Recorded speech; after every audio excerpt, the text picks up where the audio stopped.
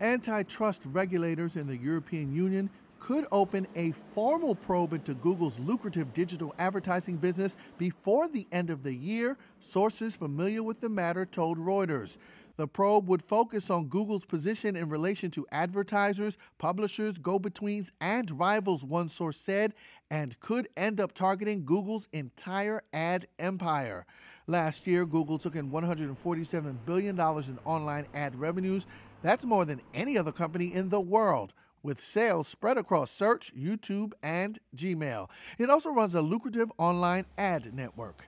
Advertisers complain that so much of Google software is key to the online ad business that it is impossible to avoid using it, and that Google takes advantage of that by extracting high fees from ad buyers, ad sellers, and everyone in between. There are also complaints that Google uses its size to block competition. Google did not immediately respond to requests for comment. The EU Commission declined to comment. A probe would mark a new chapter in the saga between the EU's competition enforcer and Google. So far, the EU has slapped Google with nearly $10 billion in fines over the past decade for blocking rivals in online shopping, Android smartphones, and online advertising. The EU is not alone in examining Google's business practices. Last week, France and Google reached a $268 million settlement over similar anti competitive allegations.